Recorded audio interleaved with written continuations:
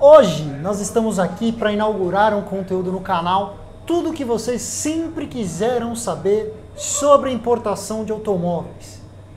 E estou aqui com ninguém mais, ninguém menos do que Toys for Boys, Fabião, meu grande amigo. É uma honra trazer Obrigado. você aqui para o canal. E obviamente vai ser uma série de conteúdos aqui. Pelo menos uma vez por mês nós vamos ter uma pauta dedicada à importação. E a gente vai querer saber as dúvidas que vocês vão ter sobre o tema, até mesmo para a gente ir reciclando e trazendo as respostas que vocês tantos querem. Hoje, como o episódio inicial, não poderia ser diferente. Tudo aquilo que vocês precisam saber para importar um carro para o Brasil. Vocês que estão chegando no canal agora, não se esqueçam de se inscrever, ativa a notificação no sininho, deixa um like, que essa é a única maneira de a gente continuar crescendo e vocês não perderem tudo de novo que nós sempre fazemos por aqui. Mas Fabião, por onde que a gente começa esta balbúrdia? Posso importar um R34 Skyline 99? Não. Então, que tipo de carro que eu posso importar afinal? Vamos lá. A legislação brasileira ela permite a importação de carro zero quilômetro e carro com mais de 30 anos. Ponto final. Assim simples. Assim sim. Mas e se eu achar um R34 Skyline 0 km? Ah, a gente vai ter um pouquinho de trabalho. Tá? É um assunto um, po um pouco mais complexo porque vai exigir uma análise real de todo o cenário. Esse carro ele vai ter que ir para uma análise para ver se a gente realmente pode trazer ou não por conta. É muito tempo passado, né?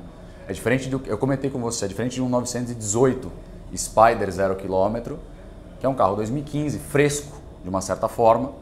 É fácil justificar. Agora a gente está falando do Skyline, é um carro 99. Né? Então, Nesse caso, a gente precisa de um pouquinho mais de acuracidade para entender o cenário e ver se a gente vai conseguir trazer esse carro. Não é impossível, mas demanda um pouco mais de atenção. E a pergunta que eu te faço assim, o que, que é esse conceito do zero quilômetro efetivamente? Para fins da nossa legislação, o que, que é o conceito mesmo? A análise feita pela, caso tenha algum tipo de contestação, tá? algum tipo de dúvida na hora do desembaraço do carro, tudo é analisado. Condição dos pneus, disco, pastilha, parafusos. Isso no caso de exigir um laudo, tá? Não é normal isso, isso é atípico. Mas é feita uma, uma perícia no carro completa para ver se ele realmente é zero quilômetro. Agora, pensando no que é zero quilômetro de forma mais sucinta, quilometragem. Tá? A gente tem um limite de quilometragem para colocar carro no Brasil que o safe, tá? Tranquilo, sossegado, 100, 150 quilômetros no odômetro. E é aquela história, o carro nunca pode ter sido lacrado lá fora de qualquer maneira, certo? Ele tem carros, por exemplo, que vêm da Europa, eles têm o que a gente chama de One Day Registry. Então é o registro de um dia do carro que às vezes é necessário ser feito. É diferente de um carro ter sido emplacado efetivamente. Isso já, já pode gerar problema de fato. Esse tipo de carro a gente não traz. Vamos começar a conversar do processo. Vamos dizer que eu, muito sapiciosamente, entrei em contato com você ou porque eu quero comprar um Bugatti Chiron, zero quilômetro. Por favor. Ou porque eu quero importar uma M5 E28 das primeiras. Por onde começa isso tudo, Fabião? Como é que é o processo para quem está querendo importar um automóvel para o Brasil? Vamos lá. A primeira etapa, tá? Primeiro ponto, ponto de partida. Habilitar você como importador perante a Receita Federal. Então, Mas, peraí, você que não é um importador? Eu? O que, que eu tenho a ver com isso?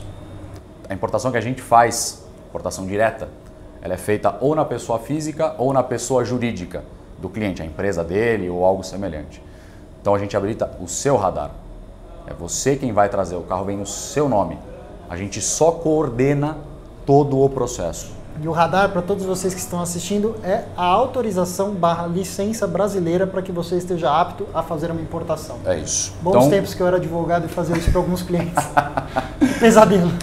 Começa por aí. Então, o primeiro passo, uma vez que a gente já conversou, eu já passei o preço para você como cliente, olha, o valor estimado do carro é esse. Você falou, Fábio, vamos embora, vamos trazer o carro. A gente vai habilitar você, vai habilitar o seu radar. A partir daí, habilitado o seu radar, a gente está apto a pagar o carro lá fora.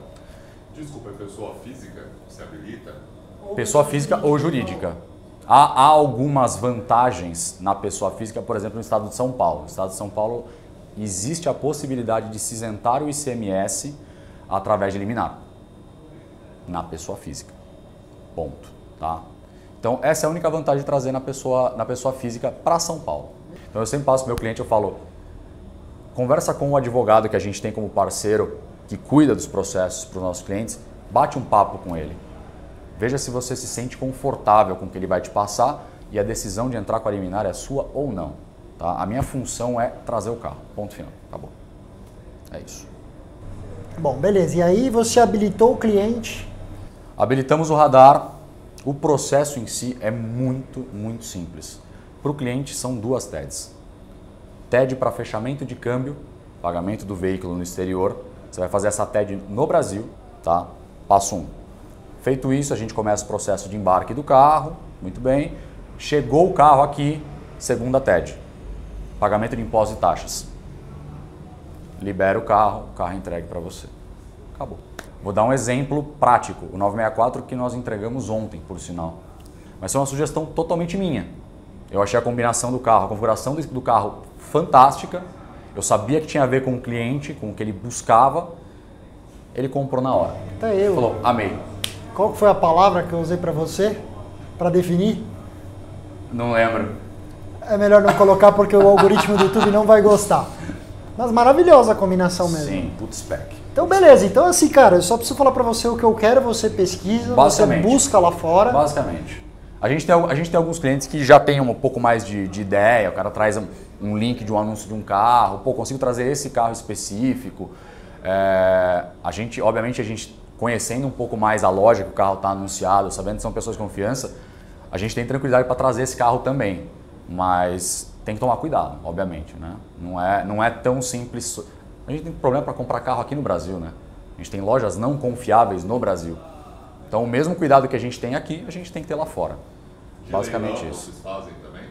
Comprar carro de leilão? É possível. A gente nunca fez, cara. Eu, se, eu sempre postei muito na Toys quando tem esses grandes leilões de Sotheby's e tudo mais, para participar, chamando o pessoal para quem quiser realmente comprar, arrematar um carro.